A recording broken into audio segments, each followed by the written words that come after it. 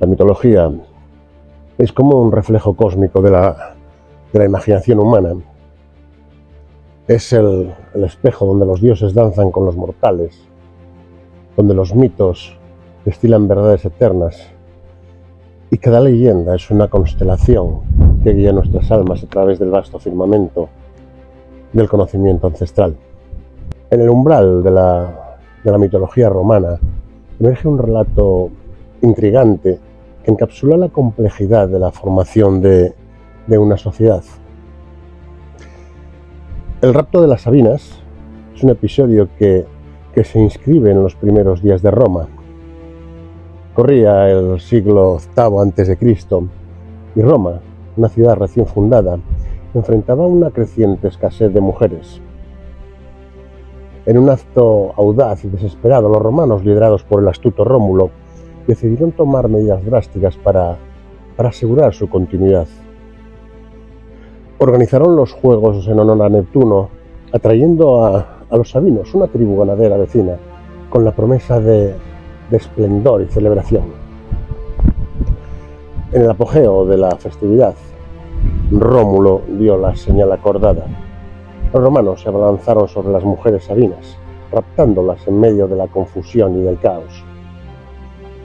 Este, este audaz acto de secuestro, sin embargo, no fue el final de la historia, más bien marcó el comienzo de un drama tanto más complejo.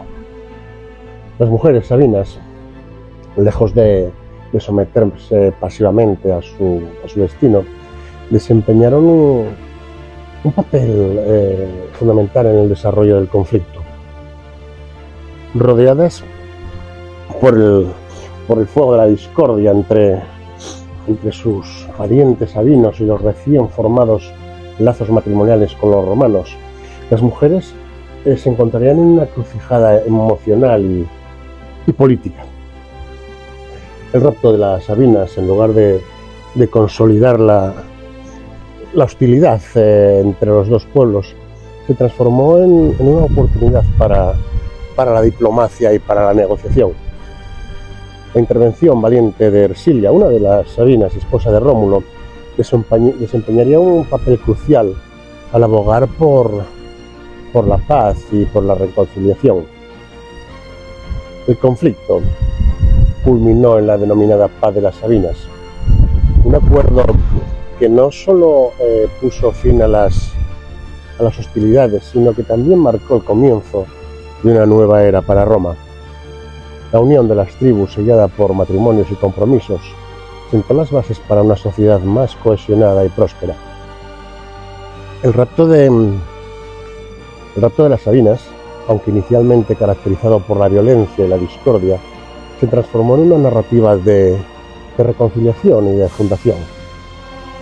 Este episodio mitológico ha perdurado a lo largo de los siglos, no solo como un relato fascinante, sino también como una alegoría sobre, sobre las complejidades de la formación de una sociedad, donde los conflictos iniciales pueden dar paso a la, a la colaboración y a la consistencia.